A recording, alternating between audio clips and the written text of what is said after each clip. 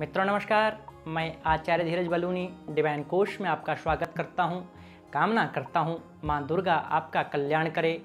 नवरात्रि के छठे दिन माँ कात्यायनी की पूजा करने का विधान है।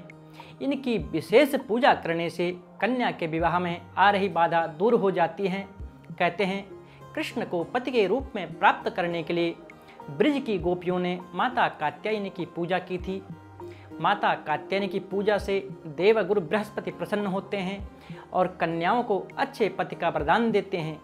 देवी के इस मंत्र से कन्या को मनोवांछित वर की प्राप्ति होती है, मंत्र है, कात्यायनी महामाये महायोगिन्यधीश्वरी नंद गोप सुतम देवीम पतिम मे कुरते नमः। इस मंत्र का जप करें। कात्यायनी ऋषि की तपस्या से खुश होकर माँ ने पुत्र के रूप में उनके घर में जन्म लिया। इसलिए उसका नाम कात्यायनी पड़ा।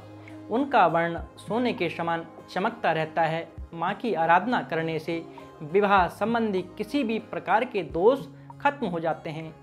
माँ कात्यायनी ने महिषासुर दैत्य का सहार किया था और तीनों लोगों को इसके आतंक से मुक्त कराया था। माँ कात्यायनी का यह स्वरूप अत्यंत चमकीला है, भव्य है। इनकी चार भुजाएँ हैं। माँ कात्यायनी का दाहिना हाथ ऊपर वाला हाथ अभय मुद्रा में है नीचे वाला हाथ बर मुद्रा में है, बाईं तरफ़ के ऊपर वाले हाथ में तलवार और नीचे वाले हाथ में कमल पुष्प सुशोभित है, उनका वाहन सिंह है। माँ को लाल रंग शहद बहुत प्रिय है। माँ कात्यायन को शहद का भोग लगाया जाता है। शहद खाकर वे बहुत प्रसन्न होती हैं। माँ का सरल मंत्र माँ कात्यायनी नमा है। माँ कात्यायनी ब्रजमंडल की अधिष्ठात्री देवी है। पौराणिक मान्यता के अनुसार गोपियों ने श्री कृष्ण को पाने के लिए इनकी पूजा अर्चना की थी। विवाह के बाद वैवाहिक जीवन की अच्छी शुरुआत के लिए भी माँ कात्यायनी की पूजा की जाती है। देवी भागवत पुराण के अनुसार देवी के इस स्वरूप की पूजा गृहस्थों को विवाह के इच्छुक लोगों के लिए बहुत ज़रूरी है और फलदायी है। यदि वृष और तुला राशि के लोग माँ कात्यायनी की आराधना करें तो संपूर्ण समस्याओं का निवारण हो जाता है। दरअसल दोनों राशि के स्वामी शुक्र हैं, शुभ विवाह और प्रेम के कारक हैं। माँ कात्यायनी की पूजा से शुक्र ग्रह की अनुकूलता भी प्राप्त होती है। माँ के लिए जप मंत्र है। या देवी सर्वभूतेषु शक्तिरूपेण सस्तः नमस्तस्य नमस्तस्य नमस्तस्य, नमो नमः। इसके अलावा इस मंत्र का भी जाप कर सकते हैं।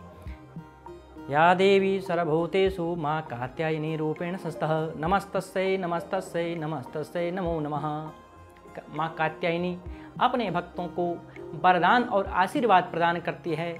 माँ कात्यायनी शत्रुहंता है, इसके लिए उनकी पूजा करने से शत्रु पराजित होते हैं, जीवन सुखमय बनता है। जबकि माँ कात्यायनी की पूजा करने से कुंवारी कन्याओं का विवाह होता है।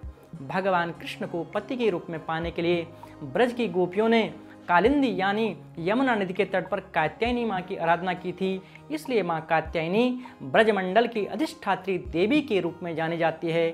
नवरात्र के छठे दिन भक्त का मन आग्नेय चक्र पर केंद्रित होता है। अगर भक्त खुद ही पूरी तरह से माँ कात्यायनी को समर्पित कर दें तो माँ कात्यायनी उसे अपना असीम आशीर्वाद प्रदान करती है। इस प्रकार धर्म, अर्थ, काम, मोक्ष प्राप्ति होती है और माँ का आशीर्वाद हमेशा बना रहता है। मित्रों, आज नवरात्र के इस उपलक्ष्य में हमने माँ कात्यायनी के संदर्भ में आपको जानकारी दी। यह जानकारी आपको कैसे लगी? इसके लिए हमारा एक छोटा सा निवेदन है कि कमेंट बॉक्स में जाएँ और जय माता दी ज़रूर लिखें। निश्चित रूप से माँ कात्यायनी का आशीर्वाद आपको मिलेगा और हमारे वीडियो को लाइक करें, शेयर करें, हमारे चैनल को सब्सक्राइब करें। पुनः बहुत जल्दी आपके समक्ष नई जानकारी के साथ प्रस्तुत होंगे। तब तक के लिए नमस्कार, धन्यवाद।